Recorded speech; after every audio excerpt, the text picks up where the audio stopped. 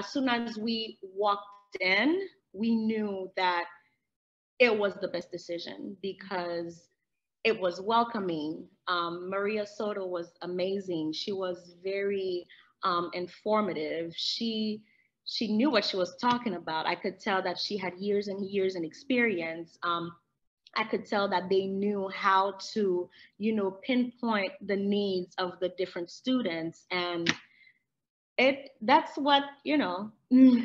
forced us forced us to decide to you know uh, enroll our child at that school it's very difficult to please me because you know again teacher but with with this school i i tell you i can guarantee that you know you will not be disappointed i would tell that to any parent you will not be disappointed at all.